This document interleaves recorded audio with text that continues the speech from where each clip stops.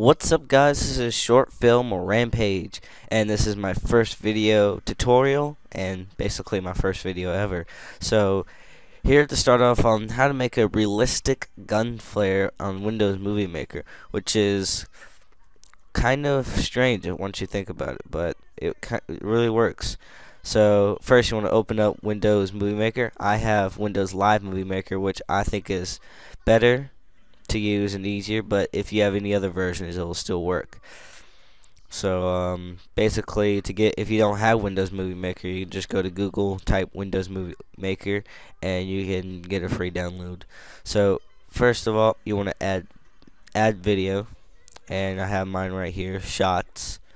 Uh, this one's a side shot, and you could do it either way, front shot, side shot. It works. So this is my side shot. Uh, you can see the video. It doesn't have anything edited or effects yet to it.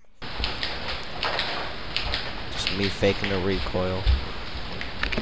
But um, I'll show you now how to make it better and have flares and whatever not.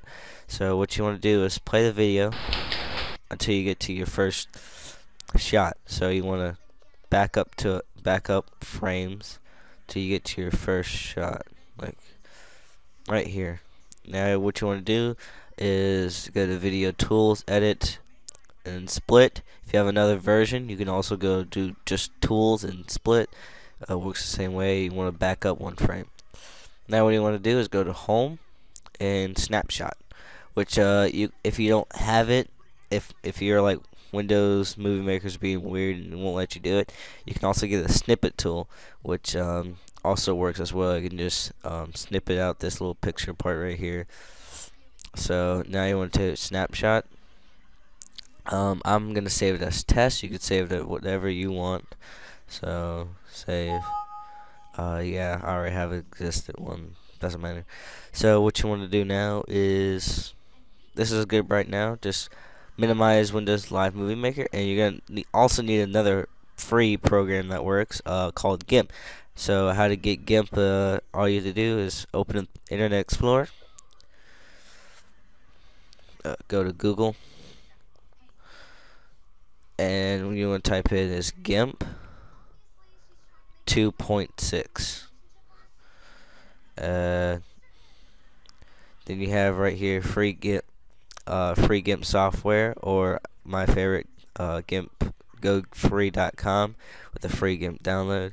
Click there, and you can get GIMP right in on this page. So I'm not sure which download link it is, but you you can also get it. So yeah, we'll close out Internet Explorer. Once you get it, uh, you're gonna open up GIMP. When you first get it, get GIMP, it might take a while just to open up, just because it's um first time it's ever opened up and processing and stuff like that. So yeah, now once the GIMP's open, you want to go to File, Open. You want to go and you want to get your pictures, and you want to look for your video image. So I'm gonna look for test if I can find it. Here it is. I'm gonna open that up and there it is right here. Uh, also now you want to do is file open. And I'm gonna get a muzzle flare. You can you can get this from Google uh, but um, Google doesn't have it where it's just the flare. It also has a black background to it. So I can in the links in the description below I'll provide you with the package. So I'm gonna go to gun package and I'm gonna get a muzzle flare. You have you also have different types that I will provide in the link below. So now you want to open it and you have it on this page right here. Uh, what, what the checkers means that it's visible. It's only going to show the flare, not anything else. So that's what the checkerboard is for in the background. But now you want to go to your rectangular select tool and just select oh, select over the flare, and you want to um, click Control C to copy, or you can go to right click, edit, uh, copy, and you can also, and then you go to your video, you can click Control V, or right click, edit, paste, and now you have your little flare right here. Looks pretty nice. Got this part right here which I really like. Now you want to do is get your scale tool and you're gonna scale scale down your flare and scale uh, make it a little bit bigger. Uh, you want you can you want your flare to be bigger but not too big or too small. You want to make it as realistic as possible. So I'm gonna take my rotating tool. I'm gonna try to rotate this right here. Um, click rotate. Uh, get my move tool and you can move it right there and place wherever you want. And uh, once you get outside the box you see this you have an anchor above your move tool and you just click outside the box and it will just you know place this down. So now that you have this down you want um, to click on your dodge slash burn tool and click that. Now what you what you want to do is go to your brush. Click your like uh, radial brush right here and you want the scale to be 10 you want to go down you want to click highlights and there you go. So now you're going to click is parts of the video that will be lightened. So now you have like a lighten effect.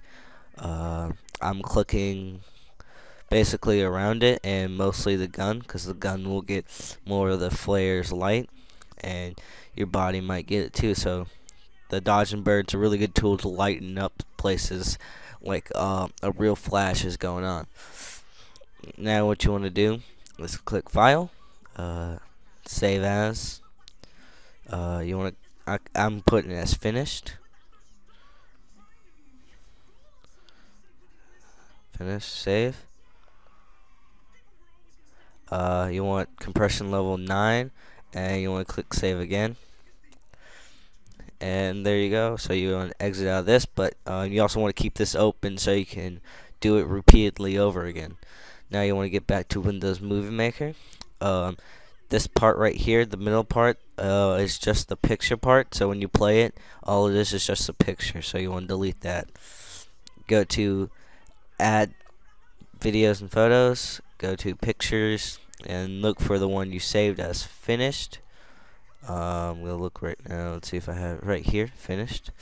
Open. And now if you look at it, you can see all the lightened parts right here. Uh, you want to drag your clip into the middle of these two split it clips. Now what you're going to do is go to edit video tools. For your duration time, I put it as low as it could be is 0.03, which is like a frame, one frame, I guess. So there you go, you have it right there, click off of it, and you have your little full frame. So when you play it, you have your little flash right there, starting to look good. Now what you want to do is go to Home, Add Music. Uh, you're gonna find your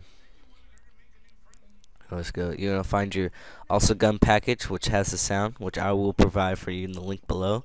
You got your video package. I'll go to gun package. Uh, we have loud. I like the loud bang Osama bin Laden thing that I I found. It it works really good. So now you have right here. You wanna you wanna drag this thing over until you get this, and then you wanna adjust your music uh, to the endpoint that would be most desirable, but don't make it too long.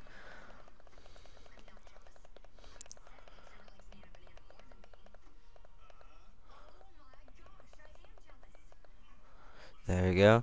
And I have my import to desired part, um, but don't make it too small where it doesn't make the loud bang.